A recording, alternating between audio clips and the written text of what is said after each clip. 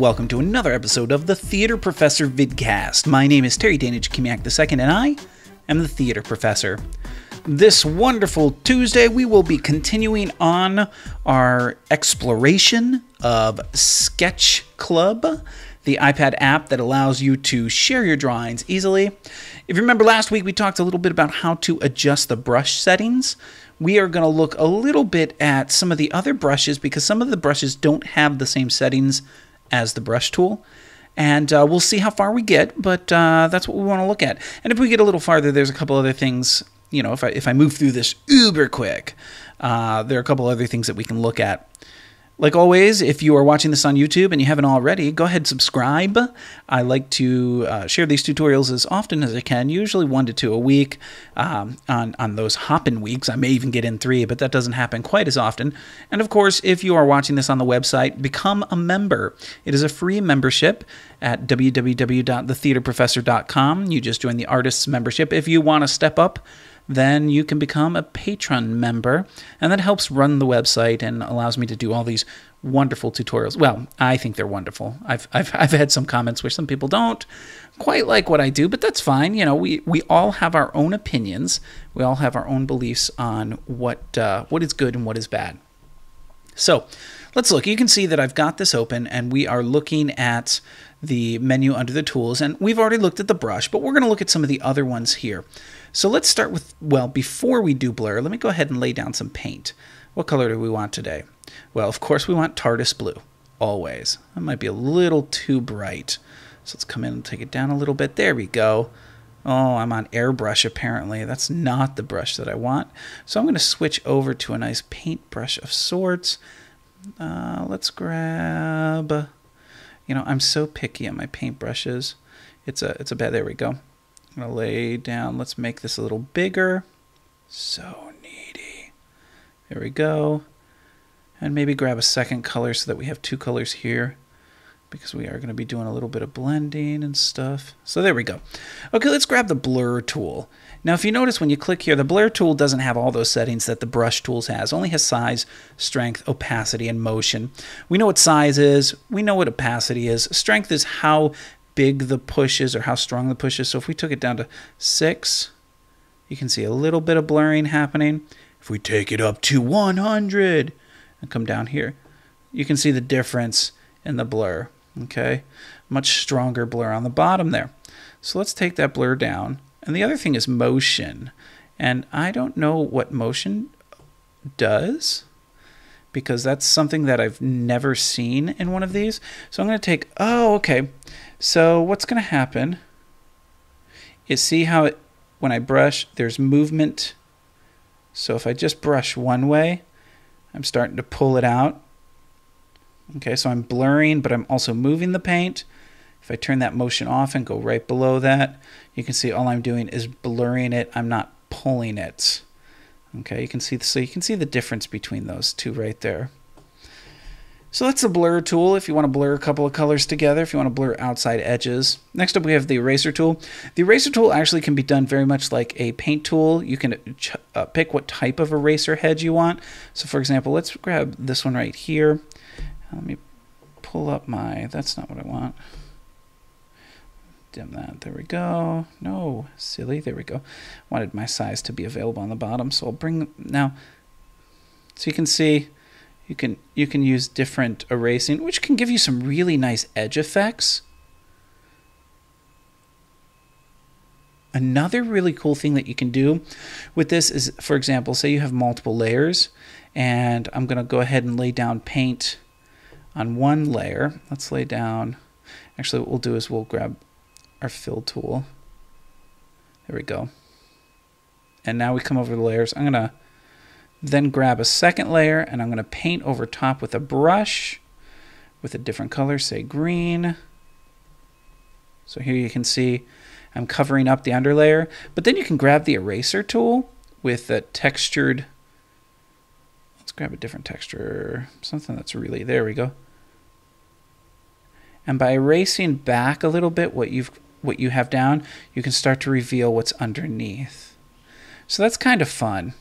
Okay, so that I, I always like any program that allows the eraser to have texture or, you know, a pattern of some sort, I always find is much more enjoyable than one that's, you know, just a single straight line. So being able to do something like this, and there we go, look at that.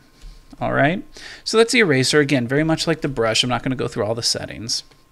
But if you wanted to, you could. I mean, you could you could hit the edit button up here and you can see all the settings are there. So definitely play with it if you want to. That's fine.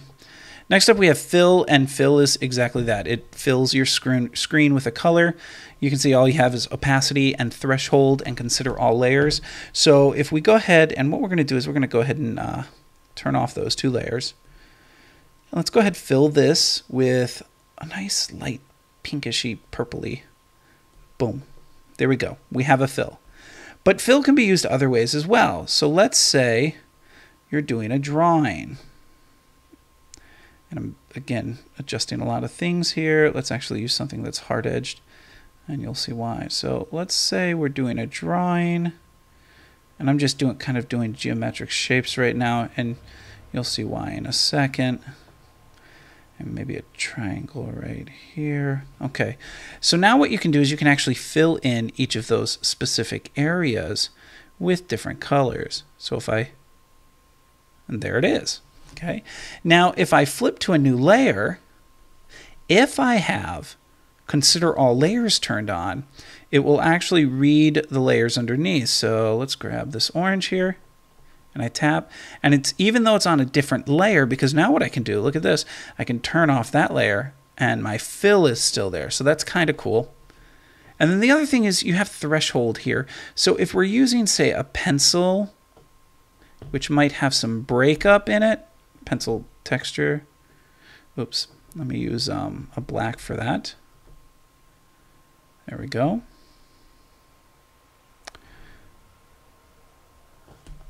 Let me zoom in a little bit. And you can see that with this pencil texture, there might be some breakage happening. So if I come in and use my fill tool now, we'll see how much breakage there is. Notice how it did the entire, the, let me zoom out. It did the entire screen. But if I were to undo that, and if we adjust the threshold to like zero, now it stays within that. If we come back in and say adjust the threshold to 20 to 30, hmm, that that threshold did not work. It was too high, so let's take it down to say 20ish. Still too much. And it's one of those things that you have to kind of play with. Let's go to 7. There we go. It stayed in it. But you can see there's some pixelation on the outside.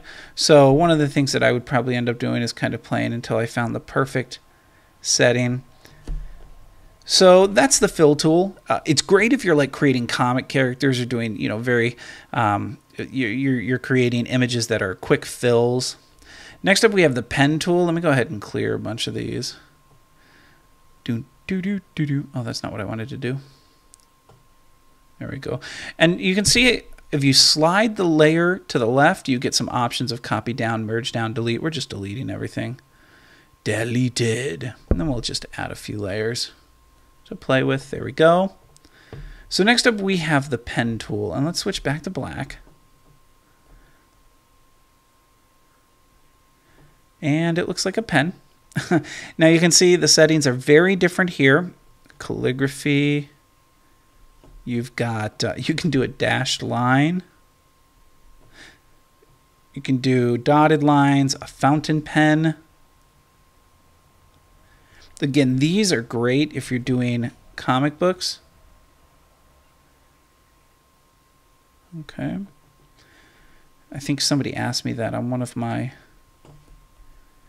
one of my uh, I don't remember. Maybe it was an email.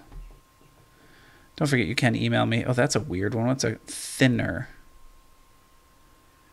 So that's weird.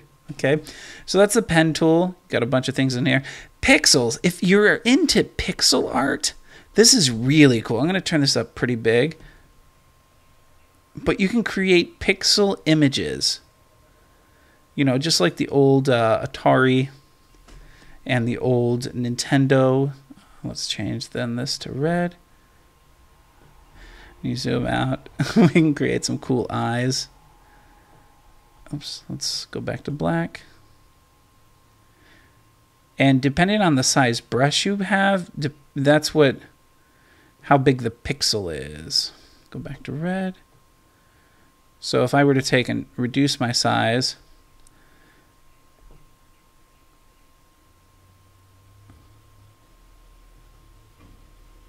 and there we go. We're creating a nice pixel face. I don't know who this guy is, but he's creepy looking. So that's pix that's the pixel brush. One of the few programs that has a pixel brush, which is really cool. Okay, procedural. Now, oh, jumping back up to pixel, if you look in the settings, you can adjust you can make them triangle pixels, you can make them circle pixels or cell pixels, okay? You can adjust size like very specific sizes here, one, two, four, eight. You can adjust the inset. So let me go to a bigger one. Okay, see that? You can adjust whether or not it's 3D. I don't think all of them. Um, there we go, just the squares. There you go. So now you're doing 3D versions of it. So that one's really, really kind of fun to play with. Okay, next up we have procedural, and these are some of the sketchy brushes that you can use. So if I zoom in, let me zoom in a little bit.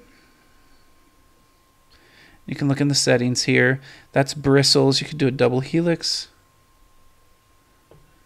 What else they've got in here? They've got um, drippers, fur. Fur is actually really kind of cool.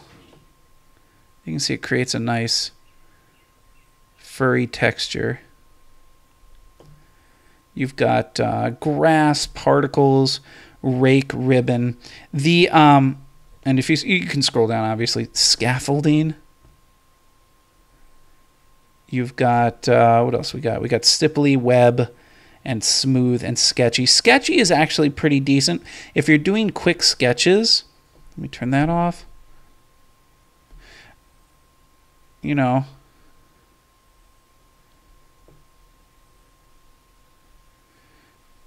You can see, and as you go back and forth, it can become kind of a shady brush. I have no idea what I'm creating right now. I'm just kind of playing with it. Okay. So I found that the sketchy brushes are really fun. Uh, you can do it with this. You can. There's an actual just sketchy brush, which is pretty much this, but it's just you know the sizes. You can smooth across strokes. You've got something similar in the smooth brush. You can see here, again, um, the smooth brush is a little little trickier for me is a little trickier to play with okay it comes out a little light I'm not real happy with how it works uh, you know you could adjust the fall off. You can smooth across strokes. But um, I really like the sketchy. Let me clear out some of these. Oops wrong wrong button wrong button. Scroll button scroll button. One two one two. Uh, my my ode to Homestar Runner and Strong Bad. Come back in here, look at the Sketchy. Again, Sketchy is one of my favorites. Adjust the size up a little bit.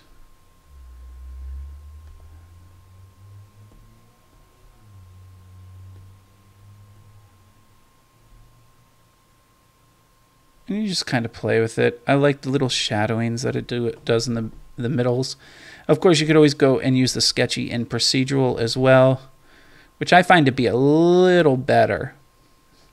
And then you've got smudge, which is smudging. And if you look up here, the settings that you got, this is nice because you can actually choose to use a very specific type of smudge tool. I mean, if you look at that, that almost looks like you're smudging pencil right there. Okay, you can adjust the size, strength, the spacing. Okay, uh, you can the orientation and whether or not it's pulling the paint as well. You can see right there.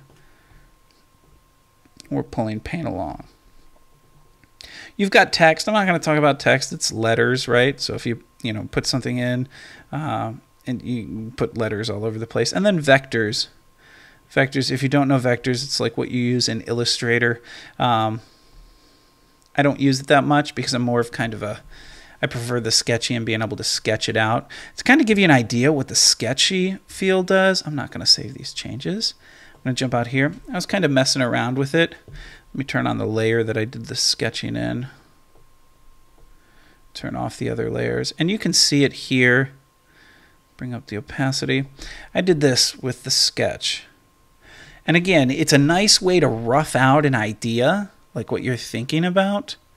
And then what you can do is when you're done, you can take and lower that opacity, put it under a layer that you're already working or that you want to do the actual inking on. And you can see I've started to ink and play around. I have no idea. All I could think of when I was drawing this is this guy was on some deserted island somewhere and uh, was lost. So I don't know what I'm creating.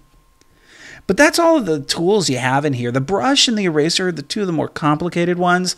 After that, the settings are very simple and um, very easy to use, even for the beginner. You know, if you've got a son or daughter who wants to get into this and start playing with it, you know, you could hand them this, give them the sketchy or use the procedural sketchy, and you can let them kind of wail away on creating an image and you, you, know it's not that difficult you're not having to adjust a ton of settings like what am I? Oh, yeah, paint bucket. That's what I'm in right now. Three settings total.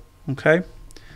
Well, that's going to be it for this week. Next week, we're going to look at, uh, we're going to get a little more uh, into the layers, I think. The layers can be so important as, it, you, you know, you see this image here. I've got you know five layers I'm working on, and each of them does something very specific. Two are turned off because I haven't gotten into them yet, but you got inking and things like that. So that's what we'll look at next week is the layers and how to use the layers and and adjust layers. There's a, a ton of information in regards to layers and what you can do. So all right, that's it for this week. My name, like always, is Terry Dana Jachimiak II. I'm the theater professor. Thank you guys for coming out, checking out the YouTube channel, or checking out the website. You guys are fabulous. And um, if there is something that you want me to focus on, go ahead leave a comment. I'm always willing. I know I've got a couple of people who've wanted me to take a look at Corel Painter and kind of dissect it a little bit. So I may be moving into that after I finish my Paintstorm Studio. Uh, tutorials that I'm doing on Fridays. But uh, but if there's something that you specifically want to see, leave a comment. You know, let me know. Let this guy know because he wants to do whatever it is you want him to do. It's my announcer voice. One of these days, I'll actually do some announcing. Hello, ladies and gentlemen. All right, that's it. Thank you so much. I'm the theater professor, and I look forward to seeing you guys next week. Take care.